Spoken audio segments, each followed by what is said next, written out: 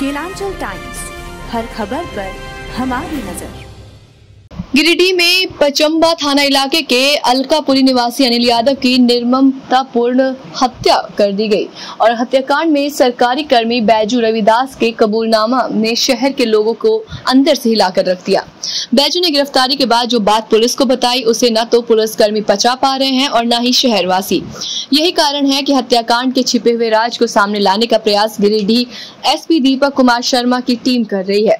यही कारण है कि दीपक शर्मा द्वारा गठित विशेष जाँच दल ने न्यायालय से बैजू रविदास के रिमांड की अपील की और अदालत ने 48 घंटे का रिमांड भी दे दिया।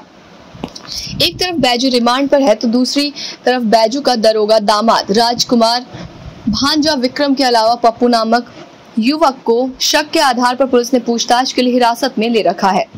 राजकुमार को देवघर से लाने की बात कही जा रही है। बैजू के घर में काम करने वाली नौकरानी को भी पूछताछ के लिए पिरटांड थाना बुलाया गया है।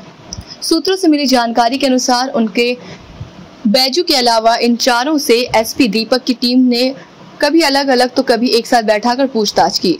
ससुर और दामाद को भी आमने सामने बिठाकर घंटों पूछताछ होती रही। प्रारंभिक पूछताछ में बैजू अपने बयान पर कायम है। हालाँकि नौकरानी राजकुमार के साथ साथ विक्रम और पप्पू से अनिल के संदर्भ में कुछ विशेष जानकारी मिली है। इस कांड में मंगलवार का दिन काफ़ी अहम है और आज कुछ महत्वपूर्ण जानकारी भी पुलिस को मिल सकती है।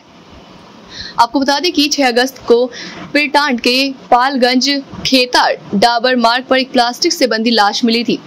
देर शाम मृतक की पहचान अनिल यादव के रूप में हुई। इसी बीच जाँच के लिए पुलिस की टीम का गठन हुआ।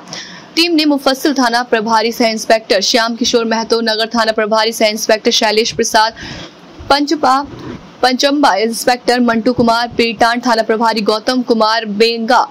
बाद थाना प्रभारी जितेंद्र सिंह के अलावा कई पदाधिकारी को शामिल किया गया।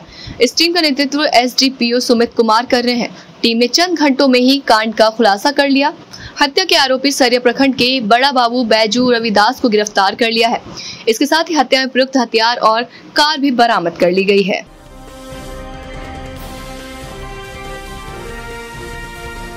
केलांचल टाइम्स हर खबर पर हमारी नज़र।